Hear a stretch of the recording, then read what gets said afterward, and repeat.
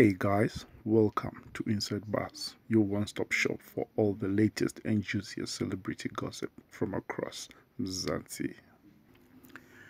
During a match between Amazulu FC and Royal AM at Moses Mabhida Stadium in Durban, a security guard has claimed that he was assaulted by Shauwn Mkhize, also known as Mam Mkhize, and her son Andile Mpisane. The guard, identified as Nkosinathi Mbanjwa, alleges that the altercation occurred when the mother and son attempted to enter the VIP suites without the proper tickets or accreditation.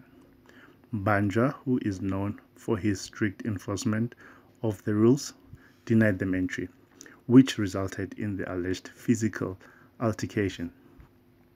A 41 year old bouncer at Moses Mabhida Stadium has claimed that he was attacked by Shauwn Mkhize and his son.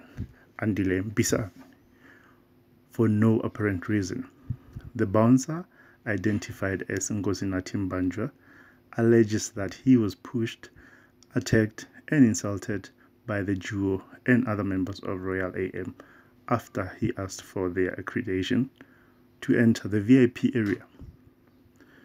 Mbanjwa, who had been doing this job, says he was not expecting to be assaulted by the high profile personalities. Mbanjwa suffered injuries during the altercation and needed medical attention at the stadium. He has since opened a case of assault and is intending to sue Mamkhize and her crew for their behavior. I was hustling for my family just like she works hard for hers, he said.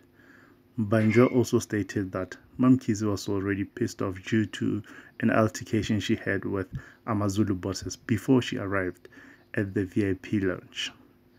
Despite the incident, Mamkhize has not responded to Zimoja's query at the time of publication. Thanks for watching. If you enjoyed this video, please hit the like button and leave a comment below I'd love to hear your thoughts on today's topic. And don't forget to subscribe to stay up to date on all the latest gossip from Mzansi.